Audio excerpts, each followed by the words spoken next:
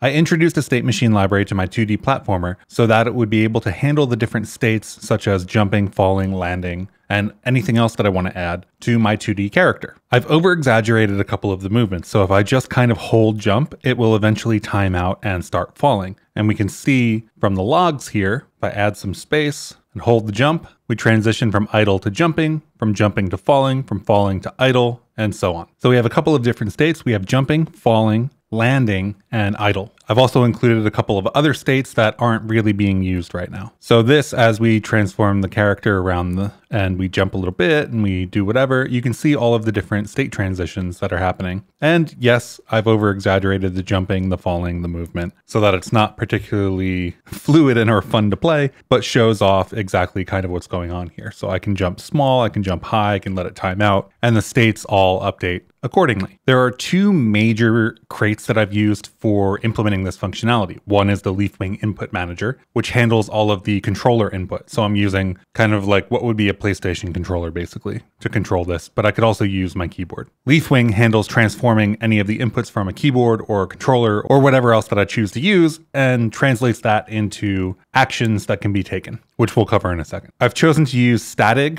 as the state machine library because it is a state machine library that's intended to take external events and process them into the state machine. In this case, external events are kind of like user input, right? Which means that I feel like it's one of the better choices for trying to do this. And of course, this whole system is built on top of Bevy, so we've got a bunch of Bevy libraries. So Leafwing is set up much like this. We have a platformer action enum that has a number of different sort of actions a person can take, such as moving right, left. Um, I have down and up here for some reason, but I'm not using them. I also have horizontal. And the other one that's going to be relevant is jump. We set all of that up by inserting a number of sort of key codes or key inputs or controller inputs and associating those with the different platformer actions. So, for example, on a gamepad, if you use the left stick in the X direction, either left or right, it uses some threshold and then applies the horizontal action, basically. And you can see that in the same way we have keyboard inputs for left and right and things like that. So in this way, we get to abstract the inputs that we're using from the actions that those inputs are sort of semantically meaningful for. On top of that, I've used Statig to construct a state machine that has a little bit of global state, as well as a number of events that can apply to the state machine to transition the user from one state into another. These events are similar to, but not exactly the same as the platformer actions. So if a user tries to jump, for example, we might not want to let them based on what state they're currently in. So while we might receive a player input for the action, right, to jump, we may not want that to translate to an actual jump event because if, for example, we're already in the jumping state and somebody tries to jump, maybe we don't want them to be able to jump again. So this code is a little bit messy. I've kind of just figured out a way that I think I'm going to move forward with this. And if you want a deeper dive into Statig, I actually have another video on Statig on the channel, so you can go check that out. I'll leave a link in the description. So we've got this state machine. Its initial state is idle. These on dispatch and on transition are the debug logs that we're getting up in the console on the top left. So all those are doing are when we dispatch an event or when we transition from one event to or from one state to another state, we're logging those out. Otherwise, the only thing the state machine is currently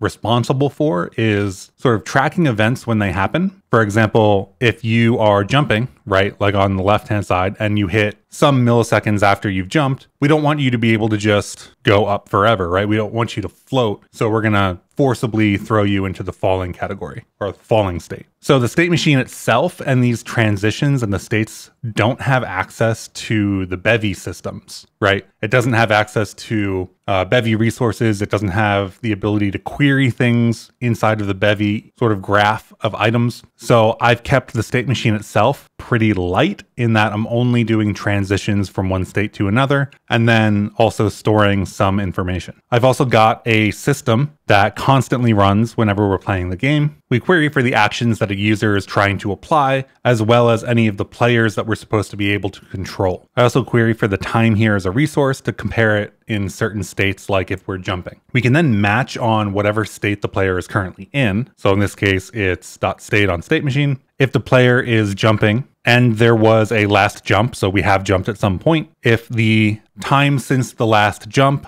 is greater than 500 milliseconds, we can send a fall event to the state machine and it'll transition our little character into falling. So if I keep holding this and talk a little bit, you'll see that every sort of 500 milliseconds of jumping, our character gets forced into the falling state. We can also control what happens if you try to input a specific action when the player is in a specific state. So in this case, if we're in the idle state, for example, and the user just pressed jump, we can send the user into the jumping state with the time that that event happened. So the time at which they tried to jump. And what that means is that we can have a bunch of other systems responsible for how the character should be behaving in each of these states. So in this case, we have a jump system and we query for a lot of the same things. We query for the actions that a given player is applying. And if they're jumping and they just released the jump button, we immediately send them into falling. So this is the kind of action where you would start jumping, you have the jump button held down,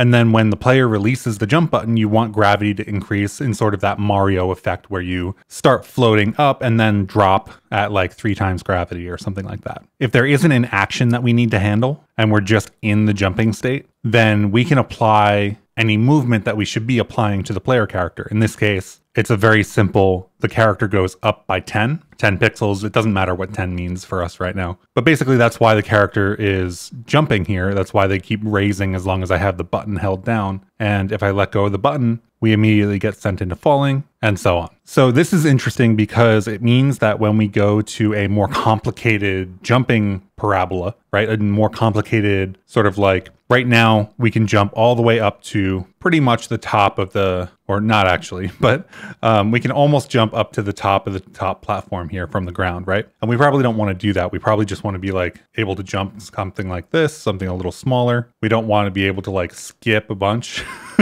so when we want to pattern out the first half of our jump here in a different manner, in a different formula, we can put that here and we can say, I wanted to jump this high or be able to jump this far or something like that. And instead of just setting the next position, setting sort of like y plus 10, y plus 10, y plus 10, we can set it to the position gain on that parabola graph based on the delta time. So it gives us a lot of control in the way that we apply the jumping mechanic in the jumping state, but we also immediately get to transition into a different control mechanic if we're falling. So for example, I have a fall system here. So when we start falling, we check to see if our character controller is grounded, if it touched the ground, right? Which means that we've landed. If we've landed, we want the state machine to transition into being landed. In this case, I just have that going back to idle, but I'll probably change that to something else. And we have the same thing happening here. If we are in the falling state and we're not handling anything, then the player is falling at a rate of 20 pixels per second or something like that. So we kind of get to encapsulate how the player should be being affected into a system responsible for handling that state. And as we transition from state to state, those are pretty good boundaries for how the player should be behaving on screen or how the player should be being affected by things like gravity, right? So we can go from jumping to falling to landing to idle. And for example, we could store whenever we land, whenever we go transition to idle, sort of how long we've been idle. Because maybe we want to play an idling animation if you've been idling there and haven't given any input for the last 10 seconds or something. So that's where I'm at. You can see the system set up here. I add the jump system, it runs when we're playing. I add the horizontal system, it runs when we're playing. The machine events, the transition handlings always run. Fall only runs if we're playing. So I think there's an interesting aspect here of how well integrated is the state machine library. So for example, we've got these events that we're handling, but we don't have the ability to query any of the Bevy system, right? Any of the Bevy resources, any of the Bevy,